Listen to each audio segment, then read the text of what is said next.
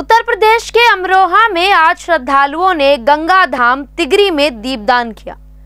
आपको बता दें कि गंगा धाम तिगरी में लगने वाले ऐतिहासिक कार्तिक पूर्णिमा मेले को कोरोना महामारी के चलते सरकार द्वारा रोक लगा दी गई थी। इसके साथ ही दीपदान पर भी रोक लगाई गई थी। लेकिन बाद में यूपी सरकार ने दीपदान की अनुमति दे दी थी। आज दोपहर दो बजे से शाम पाँच बजे तक श्रद्धालुओं ने गंगा धाम तिगरी में दीपदान किया। अमरोहा के तिगरी धाम पर लगने वाले कार्तिक पूर्णिमा मेले पर कोरोना वैश्विक महामारी की गाइडलाइन के मुताबिक श्रद्धालुओं को दीपदान की अनुमति दी गई। इस दौरान चप्पे चप्पे पर पुलिस प्रशासन पैनी नज़र बनाए हुए था।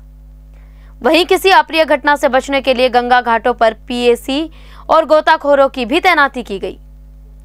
बताते चले कि कोरोना महामारी के चलते गंगा में स्नान करना प्रतिबंधित किया गया था।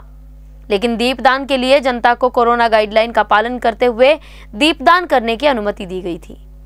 प्रशासन द्वारा जारी की गई गाइडलाइन के मुताबिक दोपहर दो बजे से शाम पाँच बजे तक ही दीपदान की अनुमति थी।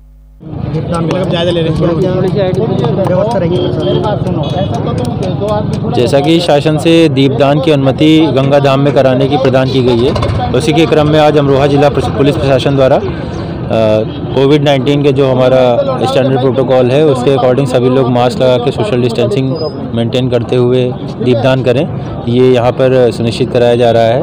और जो भी श्रद्धालु आ रहे हैं सबसे हमारी अपील की जा रही है कि आप लोग मात्र दीपदान करें और गंगा आचमन करके अपने अपने घरों की ओर प्रवेश करें। अच्छा सर स्नान की पाबंदी लगाई थी उसके बावजूद देखिए हम लोग लगातार प्रयास कर रहे हैं कि लोग मात्र दीपदान करें और फिर यहाँ से वापस लौट जाएँ। पुलिस प्रशासन पूरी तरह से फ़ील्ड में सुबह से ही लगा हुआ है। हमारे यहाँ पर तीन जोनल मजिस्ट्रेट और आठ सेक्टर मजिस्ट्रेट भी लगाए गए हैं। इसके अलावा पुलिस की पर्याप्त तैनाती की गई है, जिससे हम लोग ये सुनिश्चित करा पाए। अच्छा सर, कोरोना वैश्विक महामारी के चलते इस पर मास्क वगैरह का भी जो है लगाने का कहा गया है शासन की ओर से तो सैनिटाइजर वगैरह के लिए यहाँ पर सर ऐसा नज़र आ रहा है जैसे कि लोग इसका पालन नहीं कर रहे हैं। देखिए मास्क लगा करके लोग यहाँ पर आ रहे हैं। बाहर हम लोग जहाँ पर हमारी पार्किंग की व्यवस्था की गई है वहाँ से सुनिश्चित कराया जा रहा है कि सभी लोग मास्क लगा करके ही अंदर हैं और मात्र दो लोगों को ही आने की अनुमति दी जा रही है। ऐसे ही लेटेस्ट खबरें पाने के लिए बेल आइकन को क्लिक कर हमारे चैनल को लाइक शेयर एंड सब्सक्राइब करें।